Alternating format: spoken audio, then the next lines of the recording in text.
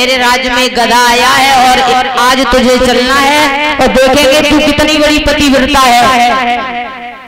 आज तेरी परीक्षा होगी। अब पत्नी ने सोचा, हे भगवान, काओ तो परीक्षा में पास हो जाए, काओ फेल हो जाए। हैं? बोली, नहीं महाराज, हम इतने बड़े पतिव्रता कौन है? बोले, नहीं, आज तेरी परीक्षा होगी। तू कहती, हम बहुत बड़े पतिव्रता हैं, आज तेरी परीक्षा होगी। माता, मैंने एक बात याद आ गई। एक मैया थी और वो वास्तव में पतिव्रता थी। जेठ को महीना रहा है भीषण गर्मी पड़े, उनके पति हल चलाएँगे जब घरे आए तो वे मूसल से धान कूट रही थी। पति ने दरवाजे से आवाज़ लगाई, पानी! वे ऐसो मूसल पकड़े, पानी मांगा तो मूसल छोड़ा, मूसल वहीं अटका रहा।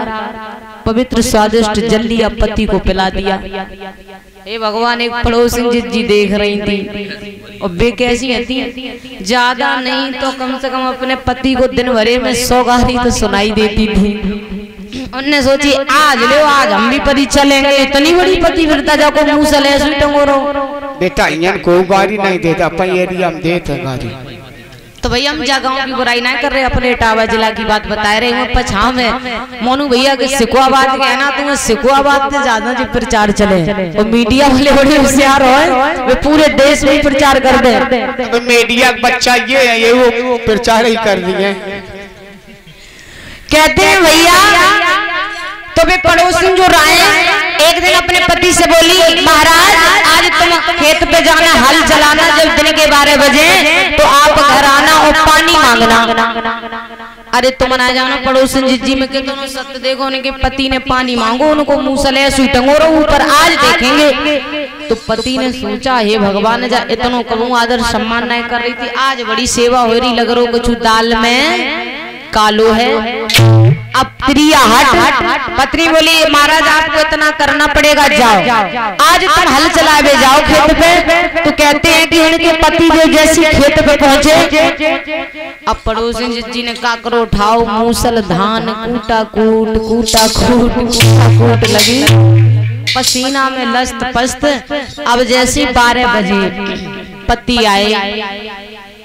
बोले पानी अब ऐसे मूसल पकड़े।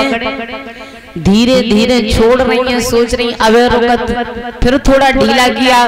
बोली अवे रुकत फिर थोड़ा ढीला किया। तो का भो मामा? मूसल छूटो और उनकी नाक पे गिरो। नाक गिर गिर के कट के ज़मीन पे गिर पड़ी। बेटा फर्नीचर बन गो उनको सही। उनने उठाओ मूसल। दहपति में दहपति में पत्ता पत्ता बनाए दो। बोली दुश्मन कहूँ को तो मैं तो तो जी को मूसल ऐसे ऊपर। अब भैया का वो कहते हैं ना कि माताएँ बहने अगर पतिव्रता बनियो तो धीरे धीरे बनियो। ना आज से ही तुम एकदम डायरेक्ट बनने लगो भैया जे नाक कान कटाए फिरो पड़ोसी जी जी जैसो। तो बेटा तुम्हें संजा खाए नहीं मिले? खुबलाई खूब कर रही इन्हें ले लिबे ना दियो।